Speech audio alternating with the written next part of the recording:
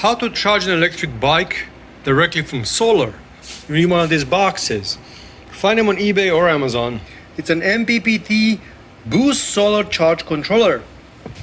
How does it work? You have a connection that goes to your battery. It has a fuse in it. Then you have a connection where it goes directly to your solar panels, which in my case are like right there. You see them?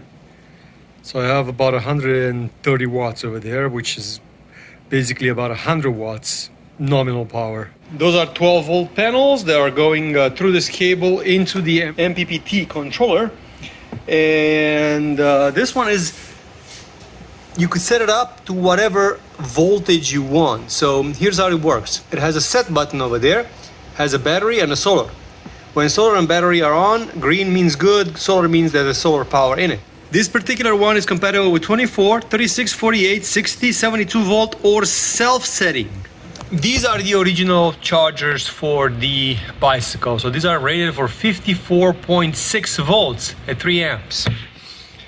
So what do you do with this one, you press and hold the set button. Five seconds. One, two, three, four, five. So right now it's in 24 mode, 36 mode, 48 mode, 60 mode, 72 mode, or self mode. So right now I'm going to press and hold for another 5 seconds. And I'm going to set the voltage manually. And there you go. So right now it's 54.8. I want 54.6. 51, 2, 3, 54.56. You let it sit over there. Four lines on the dash means that it's set for that. There you go. So it just set itself to 54.6 I will stop automatically. Once you plug it in, you gotta watch the screen. So what the screen means. This is the voltage of the battery right now, 53.9.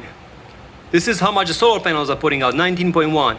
This is the current going through. So it takes a couple of seconds to catch up with it and then you see the voltage on the panels are dropping. The current is going up.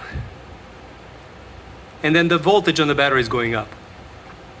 So usually the panels tell us around 15 15.4 these are 12 volt panels. It's doing 8.4 i'm not sure exactly what that means it's not amps. And this is 53.9 on the battery right now.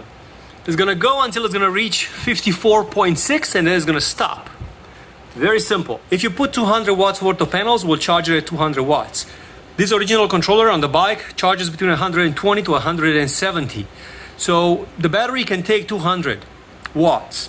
If you want to charge it faster, there are faster charger out there, but it can reduce the life of the battery. So I would recommend not to overdo it. 200 watt solar panels will be more than enough.